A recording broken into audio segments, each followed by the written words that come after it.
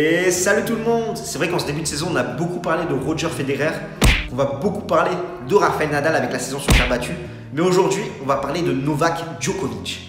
Djokovic, c'est 68 titres en simple, 30 Masters 1000 et surtout 12 titres en Grand Chelem. Et pourtant, à l'heure actuelle, en 2018, c'est seulement 5 victoires pour 5 défaites.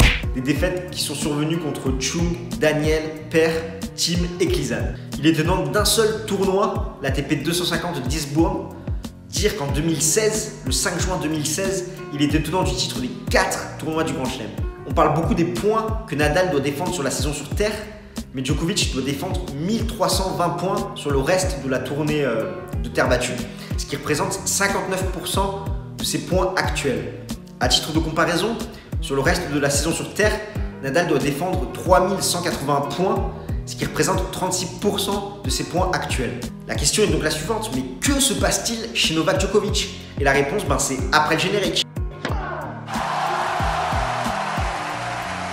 Donc pour moi, il y a 4 raisons principales qui expliquent cette baisse de régime chez le Serbe. Donc c'est vrai qu'on a souvent tendance à vouloir comparer Djokovic à Nadal et à Federer. Mais la personnalité du Serbe est beaucoup plus complexe que celle des deux autres. Je rappelle quand même que Djokovic a toujours dû marcher dans les pas de Nadal et de Federer, ce qui fait qu'il a cultivé cette haine de vouloir à tout prix arriver à leur niveau et surtout de vouloir à tout prix les surpasser. Ce qui fait qu'il s'est vraiment conditionné pour arriver à cet objectif.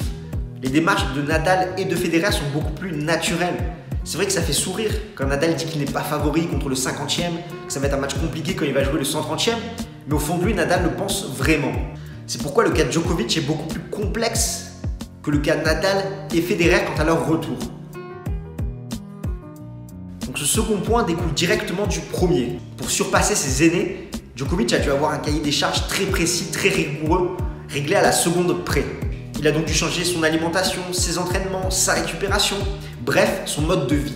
Il a vraiment tout calqué pour avoir comme objectif de dépasser Nadal et Federer. C'est un petit peu comme un château de cartes. D'abord consolider chaque rangée avant de passer à la rangée suivante. Bah là, c'est exactement pareil. Il a vraiment réussi à consolider tout ça entre 2011 et 2016 en atteignant son apogée, donc après Roland Garros 2016. De l'extérieur, on peut croire que c'est facile. Il suffit de manger ça, de s'entraîner comme ça, de dormir comme ça, de récupérer comme ça. Mais c'est vraiment quelque chose de très strict, très rigoureux et c'est vrai que ça peut avoir des répercussions sur ton entourage, surtout quand tu es marié, quand tu as des enfants. Et pourtant, l'entourage est le socle de tout. C'est bien de gagner un titre, mais l'année d'après, tu le remets en jeu. Alors que si tu personne derrière pour te supporter dans les bons moments comme dans les mauvais moments, bah, ça sert à rien. Une fois que tu as gagné les 4 grands chelems, c'est super. Mais si derrière, tu plus personne avec qui partager ces moments de joie, ben ça sert à rien. Et c'est vrai que le fait d'être dans son truc, dans sa rigueur, ben finalement tu peux perdre tout ton entourage qui n'arrive plus à te suivre. Et c'est vrai qu'actuellement, ben, le Joker semble bien seul. Et c'est vrai qu'on peut faire un parallèle, certes extrême, avec le DJ Avicii. C'est vrai que de l'extérieur, on se dit c'est super, il fait de la musique, il est dans le monde de la nuit, ça doit être génial. Mais si on creuse un petit peu, ben, on voit qu'il en est tout autre. Pour finir sur cette partie, il y a également la rigueur sur l'alimentation. Je lisais récemment un commentaire d'un nutritionniste suisse qui expliquait un petit peu le régime qu'a dû subir le Serbe.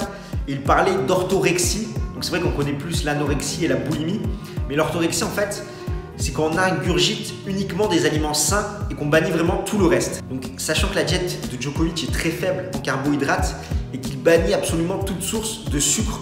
Et donc le nutritionniste disait qu'il y avait un effet positif sur le court terme, sachant que les cellules allaient stocker beaucoup plus d'oxygène, ce qui allait permettre une meilleure récupération et vraiment d'être beaucoup mieux conditionné physiquement.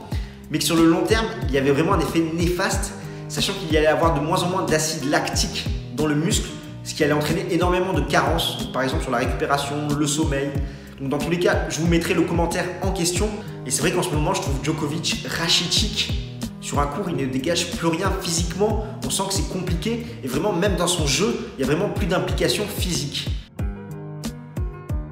Oui, c'est vrai, il y a cette blessure au coude, mais je trouve que cette blessure, justement, c'est l'arbre qui cache la forêt et qu'on a trop facilement tendance à justifier les performances du Serbe avec cette blessure.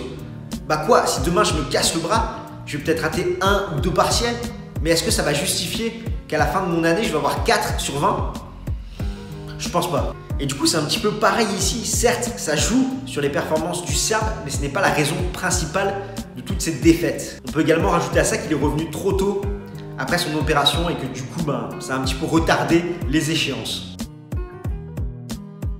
On le dit en rigolant d'habitude, mais c'est vrai que certains évoquent comme cause principale le fait que Djokovic s'est associé avec ce PPI Mas, donc ce gourou un petit peu qu'il a depuis fin 2016. Mais pour moi, cette association, bah, c'est plutôt la conséquence des deux premiers points que j'ai évoqués, plutôt que la cause de sa méforme.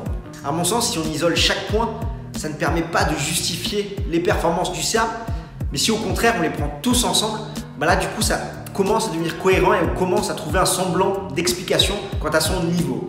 Après, je reste intimement convaincu que Djokovic va de nouveau pouvoir gagner de grands titres, des grands chelems, des Masters 1000, peut-être dans un mois, peut-être dans un an, peut-être dans deux ans, qui sait, mais je suis sûr qu'il reviendra à son niveau. Par contre, là où j'ai mis d'énormes doutes et où je suis pas du tout convaincu, c'est que le Serbe arrive à retrouver sa régularité qu'il a eu entre 2011 et 2016. Comme je vous le disais, c'est un petit peu comme un château de cartes. Il faut que chaque rangée soit bien solide pour faire tenir la rangée d'après. Là, le château s'est écroulé. Il va vraiment devoir reconstruire chaque rangée mais le problème, c'est que Djokovic, il va aller sur ses 31 ans et qu'il n'a pas forcément 4-5 ans devant lui pour tout reconstruire. Voilà ce que je pouvais dire sur le cas Djokovic. N'hésite pas dans les commentaires à me donner ton avis sur le Serbe. Ça serait sympa de pouvoir échanger.